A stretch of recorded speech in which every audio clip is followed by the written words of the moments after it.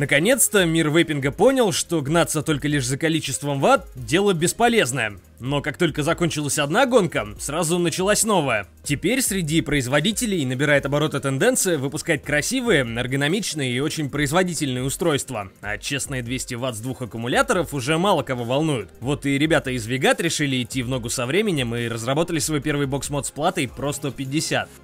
Квадратно-угловатое, но все-таки стильное устройство, выполненное из нержавеющей стали. Особой форсистости девайсу придают карбоновые вставки, изготовленные из специального волокна, которое используется в космической промышленности. На передней стороне расположился экран, разъем microUSB и хромированные клавиши управления из пластика.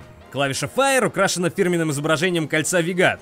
Тем не менее, выглядит она дешево и не внушает сильного доверия.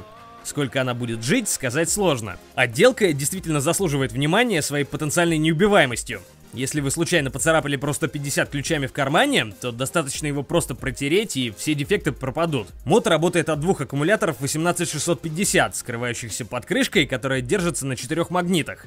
Но толку от них крайне мало, ведь люфтит она не по-детски, чем портит все первое впечатление монолитности устройства. Девайс имеет довольно заурядные характеристики, которых вполне хватит среднему или даже продвинутому вейперу.